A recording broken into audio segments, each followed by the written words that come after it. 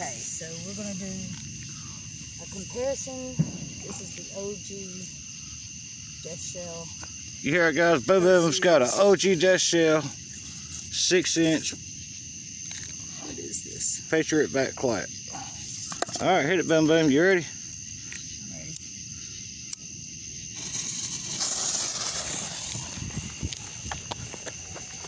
Here we go.